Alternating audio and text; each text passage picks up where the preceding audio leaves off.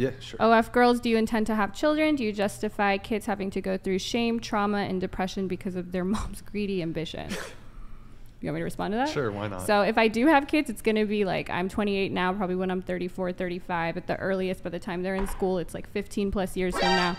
I don't I don't think it'll be as much of an issue. Plus the two biggest contributors to childhood success are socioeconomic status and maternal education and my kid's going to be balling on both fronts. So this is the same argument people used to make 10 years ago as to why gay parents shouldn't be able to adopt kids. So like your kids are going to get bullied and now that's not like even a thing.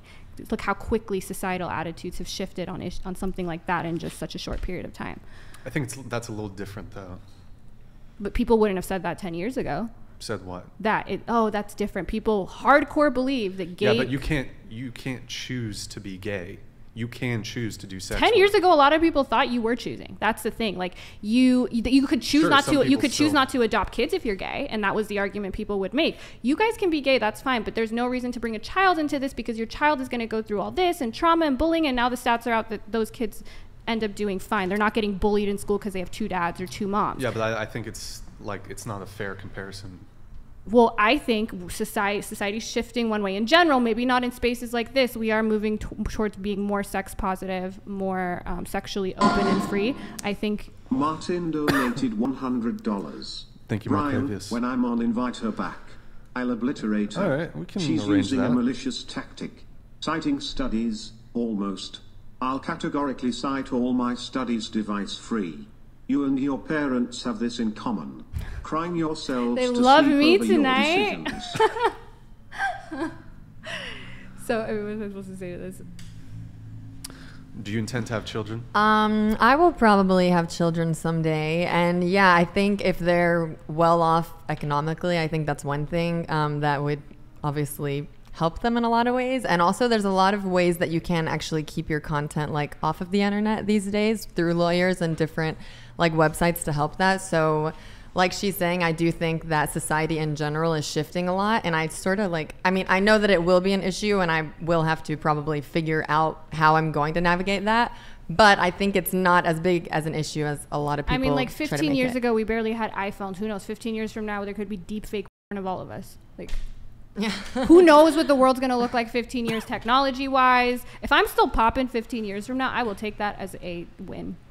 But I guess so.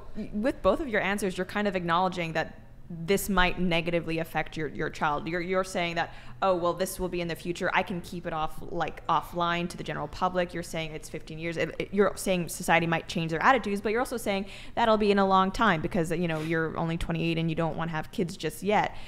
So is it fair to say that you are acknowledging that there there is a way that this could Of course, but I mm-hmm. mean, like for instance, I grew up Persian, and a a lot of the kids in my school were white, and kids used to make fun of me for having Persian food. Like, what were my parents supposed to say? Like, oh, okay, let's try to have you not be bullied. I don't plan on raising my kids to appease the whims of like the most immature population, which is like school school kids. So yes, they could get bullied over this, and yes, that is. I'm not saying this isn't a possibility; it can't happen, but I think kids can get bullied almost over everything. I mean, you're a conservative political pundit. If you go to, if your kids go to school and there's some really liberal parents there that or something, your kids are going to get bullied because of what you do. Because half of the country, at least, disagrees with you. So there's a big portion of the country that also finds what I do controversial. So again, I think it's something that is, is a possibility, but I think there's so many mitigating factors. And I also think a lot of the people that ask that, maybe not this particular commenter, are just, they don't actually care about kids. If you cared about kids, you would go volunteer at a children's hospital. You could do things with kids that actually exist now instead of my hypothetical future potential children. So that's, that's, I also don't think it's a question generally asked in good faith, not with you or maybe this commenter, but in general. Right, and I guess the, the reason why I asked this is because I, I I'm a mom, mm-hmm. I have a kid, and obviously, like you said, kids are going to be bullied. I plan on homeschooling, so hopefully that mitigates some things. But do you think that as mothers or potential mothers, that you have a responsibility to, I guess, behave in such a way where your child would be proud of you. And I'm not saying that, you know, maybe you're you're going to raise your kid in a way that having an OnlyFans mom is something that they're proud of. But how do you how do you plan on navigating that? Like do you do you want your kid to be uh, aware from a young age that you did OnlyFans? Do, are, would you be upset if you have a daughter and she does OnlyFans? Like how how are your feelings with OnlyFans kind of related to so those are two plans? questions i think just like there's a sex appro- uh, an appropriate way to talk to children about education, I think there's also an age appropriate way to talk to children about sex work, depending on the age and all that. Now, would I care if my daughter did this? Um, my only goal for my children is to be happy and healthy and kind people. So I have no intention of bringing children to the world so I can be proud of them or that they can align with me and do everything I want. People who have children to make them an extension of themselves shouldn't have children. So again, if this is what my daughter does and she's happy and she's healthy and she's safe, go for it. If she wants to be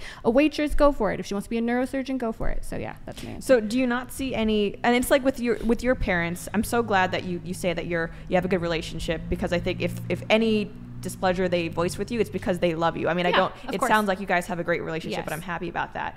Do you can you understand why a parent could love their child and not want them to just be an extension of themselves, but still not want them to do OnlyFans? I can totally see it because they see it. Like my mom also thought tampons are only for virgins. Like she grew up, she was married a virgin. She's only ever been with my dad. So it's really hard for them to break away from these values. So they think that what I'm doing is unhealthy. But that may not necessarily be true. So again, my goal for my child is not them doing what I think is healthy or what I think is great or what aligns with my values. It's just that they're overall happy, healthy kids. I can tell you in the Persian community, it's such a thing that parents just go to like like these parties and they're like, my son has PhD, my son like is at Stanford, and like it's like, are your kids happy though? Because a lot of times they're not. You have no idea how many messages I get from children of immigrant families who are like, I don't want to be a doctor, I don't want to do this, but your story actually inspired me to be honest with my parents about that. It doesn't mean they have to go into sex work. It just means to live a life conducive to their own happiness, and that's all I would want for my kids. But and obviously, I'm not advocating. I'm half Chinese, but I, I think you can totally not be a doctor or a lawyer and still do all right in life. But um, can you understand why that even if you want the ch- the child to be happy and healthy, that may not, as a parent, mean condoning whatever they want to do at the time. Yeah, that if they're there's a difference underage, like I, I was 26 when I started my own bands. If my daughter's 16 and she's like, I want to start bands, yeah, we're gonna have a discussion about that because I don't think your your prefrontal cortex isn't even developed yet, and this has lifelong consequences, which I agreed with you with. But if Right. she's 25, th- 26, and she's like, Mom, I want to do this, blah blah blah. This is what I think is gonna make me happy. Here's how I plan to use the plan. Yeah. So But I, don't- mean, I guess looking at the rates of women who are only in the sex industry for a short amount of time and then they end up leaving it, which I'm guessing means they weren't really satisfied in it. Otherwise, they would have stayed in for longer. The women who, you know, talk about things like how it's damaged their potential for long term relationships in the future. There was a study, I think it's something like 75% of all creators do report that it has negatively impacted their relationships in, in one way or another. Again, 100 is, is not the same as 75, so you can make an argument it's not mm-hmm. everybody. But can you see that there are like this isn't just another job right this isn't just like become, becoming a teacher or a politician there are a lot of consequences we're not even talking about religion here mm-hmm. just to their ability to work other jobs in the future have other relationships whatever that this makes it a very big difference a different decision than wanting to go into engineering or which something is exactly why I would want, like I said, informed consent from the person, which is why I agree that really young girls that may not know about these consequences shouldn't do. it. I think also a lot of mm-hmm. people are in the industry and they leave because as you get older, you can't. It's like it's like being a professional athlete. Like you only have a short amount of time, but nobody tells professional athletes, "Oh, why would you want to do that?" Like you can only do it for a short amount of time. They say, "Oh, I think people do people do tell athletes that generally, especially like if, if Oh, okay. they're Maybe they do. I don't know. I've never heard anyone like be like, "Oh my God, you're an athlete! Like, what a terrible profession! You're only in it for a short amount of time, whatever." So I don't necessarily think that's the problem, but I agree with you that I would want any any woman or any man, anyone to do that's doing this work to be aware of those consequences. But I'm thinking in the in the position with my child, yes, if they do anything reckless, recklessly that could affect them for the rest of their lives. If my daughter got married at 18, I would lose my mind because that you're so young. Mm-hmm. So it doesn't matter any lifelong decision that they make from a young age without full informed consent. I wouldn't be happy about. But it's not the profession of OnlyFans in particular that I have an issue with if they have informed consent about about it.